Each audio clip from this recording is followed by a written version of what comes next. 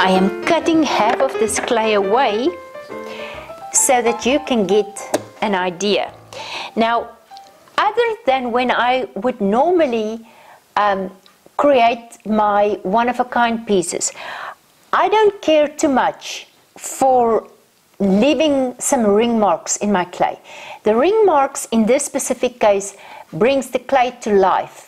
And of course, it depends on what kind of a design you're going to put on the piece, uh, whether you're going to leave the ring marks or not. But in this case, I'm just going to leave it there. I'm going to trash this clay anyway. So note, the dominant hand sits lower, right at the bottom, than the non-dominant hand. That dominant hand is going to go to where it's level with the other hand.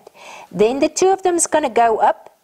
If you want to make just a plain straight thing, you're going to make where they go like this. Now watch now what's happening.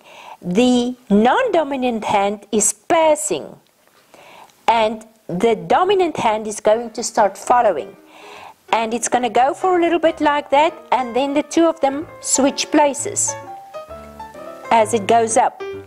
And it's going to go all the way to the end.